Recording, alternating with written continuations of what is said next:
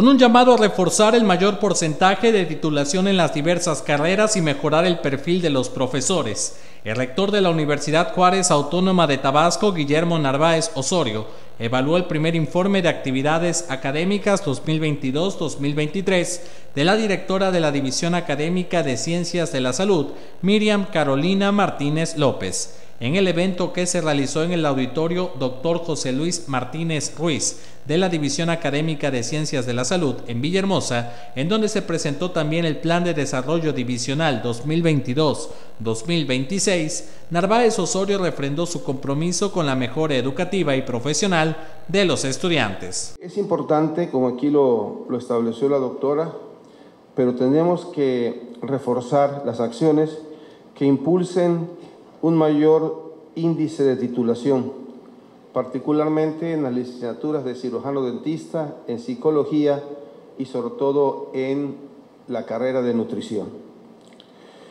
Eh, tenemos que reforzar también que nuestros profesores puedan eh, recuperar los eh, niveles de perfil de sable PRODEP pasamos de 76 a 69, tenemos que recuperar esos siete perfiles que se nos quedaron.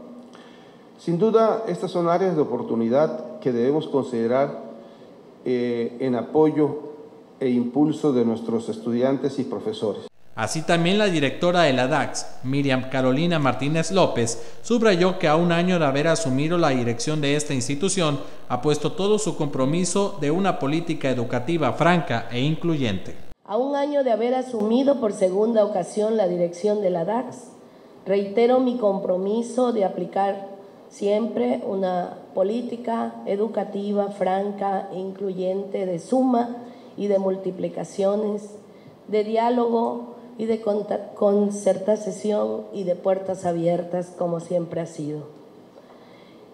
Hemos iniciado las, acciones para construir las estructuras de una nueva generación de mejores maestros que tomen la estafeta de los que nos antecedieron y que permita proyectar a nuestra división hacia otros niveles.